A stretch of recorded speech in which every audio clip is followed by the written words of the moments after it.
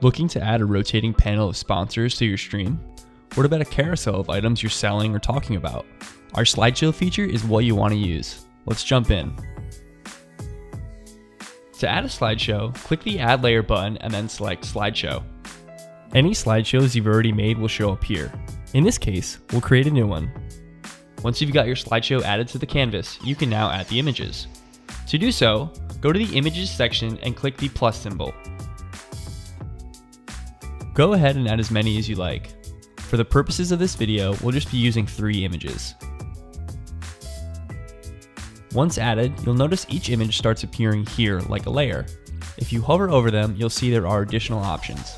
Moving up or down changes the order in which they appear. Replace will swap out the image with another image of your choosing. Duplicate will add an additional copy of the same image, and Delete will remove it from the slideshow altogether.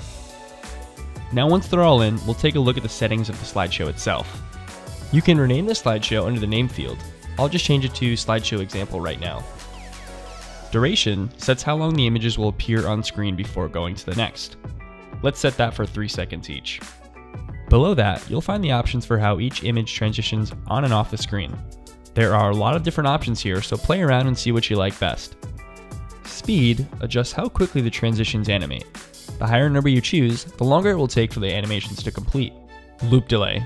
This controls how long the slideshow will pause before looping back to the beginning. Lastly, randomized order will showcase each of the images in a different order each time. Once your slideshow is in order, you're ready to stream. Thanks for tuning into this short tutorial on slideshows. If you have a question, be sure to drop it below or hit us up in the live chat.